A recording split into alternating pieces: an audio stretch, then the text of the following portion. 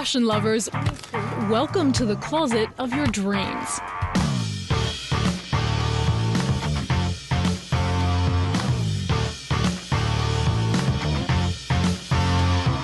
There are more than 4,000 dresses here, all designer and all with a price tag to match.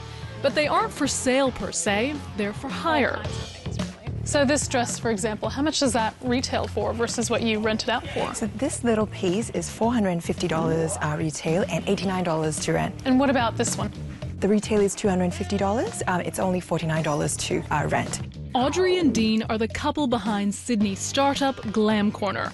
Launched in 2012, the business aims to make fashion not only more accessible, but more sustainable too. The average Australian woman only wears about a third of what's in her wardrobe. The other two thirds is this stockpile of once only items that she, she purchased for a one off event and then never wore it again. In the early days, how difficult was it to convince customers to rent rather than buy?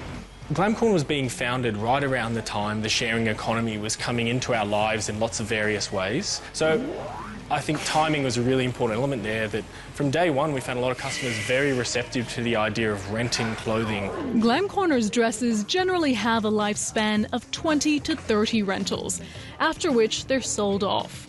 In between each wear, they're cleaned, checked for damage, fixed by the on site tailor if necessary, and then released back into circulation. Meanwhile, a steady stream of new designs are photographed and listed online. It's as much a logistics business as it is a fashion one.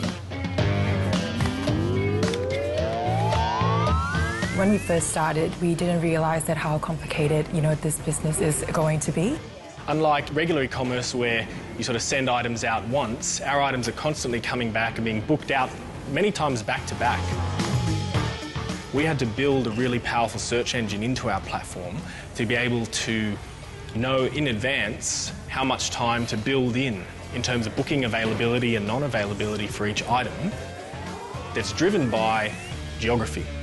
In the past 12 months, Glam Corner customers have rented the equivalent of $20 million worth of clothes. The business now ships thousands of dresses each month.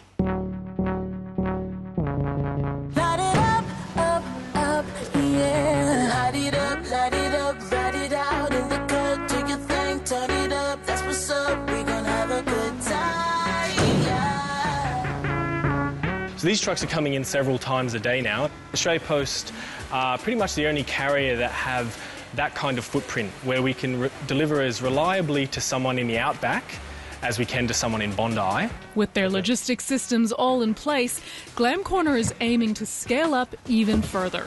They've raised $5.5 million to date from firms including Marshall Investments. That's the company behind traditional retailers like Saba and Sportscraft. They're a really good example of someone in the industry who's really interested in how are women showing a preference for how they want to consume fashion and apparel in the future.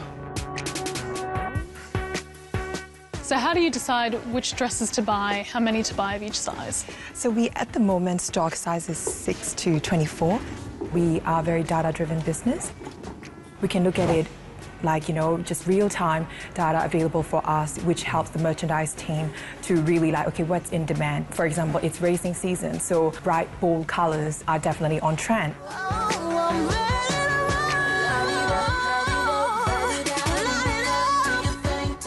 Clearly, fashion has a new model. Business model, that is.